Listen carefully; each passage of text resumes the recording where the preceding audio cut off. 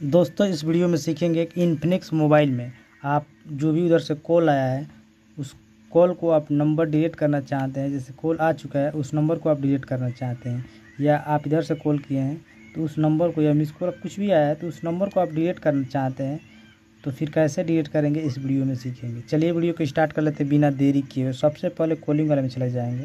जैसे कि यहाँ से नंबर डायल किया हूँ। इसको डिलीट करने के लिए जैसे आई बटन पर क्लिक कर रहे हैं तो आप देख सकते हैं यहाँ पे डिलीट करने का कोई ऑप्शन तो नहीं आ रहा है। जैसे इस पर भी क्लिक कर रहे हैं तो आप देख सकते हैं यहाँ से भी कोई ये डायरेक्ट मैसेज में लेकर चला जा रहा है, लेकिन डिलीट करने का ऑप्शन नहीं आ रहा है। यहाँ से देख सकते हैं डिलीट करने का ऑप्शन आ चुका है। तो जैसे कि यहाँ से नंबर डिलीट कर रहे हैं यहाँ से, कहीं से भी तो यहाँ से नंबर डिलीट करने का ऑप्शन नहीं आ रहा है।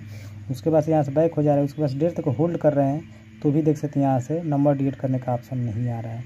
तो इसको नंबर को डिलीट करने के लिए यहाँ से देख सकते हैं आई बटन दिखे इसी पे क्लिक करेंगे, फिर ऐसा इंटरफेस हो जाएगा। उसके बाद से यहाँ पे देख सकते हैं थ्री डॉट का ऑप्शन दिख रहा है। कोने में यहाँ देख सकते हैं आपको मैं दिखा दे रहा हूँ। यहाँ पे कोने में थ्री डॉट यानी तीन बिंदु का ऑप्शन दिख रहा है तो इस पर हम क्लिक करेंगे। तो आप देख सकते हैं यहाँ से डिलीट का ऑप्शन आ चुका है तो इस पर हम क्लिक करेंगे। उसके बाद यहाँ देख सकते डिलीट का ऑप्शन आ चुका है डिलीट वाले पर क्लिक करेंगे। तो अब जाकर डिलीट हो जाएगा। इस तरह से कॉन्टैक्ट नंबर को भी डिलीट करना है तो जैसे वो नंबर डिलीट होगा कॉन्टैक्ट नंबर डिलीट करना है तो कॉन्टैक्ट वाले पे आ जाएँगे। तो कॉन्टैक्ट नंबर डिलीट करने के लिए कॉन्टैक्ट वाले पे क्लिक करेंगे। उसके बाद यहाँ थ्री डॉट का ऑप्शन आ रहा है।